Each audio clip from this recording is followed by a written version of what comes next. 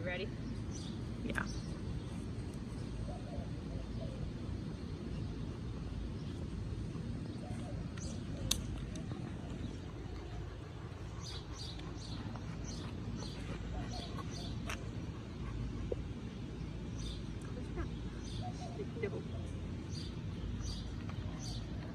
Girl.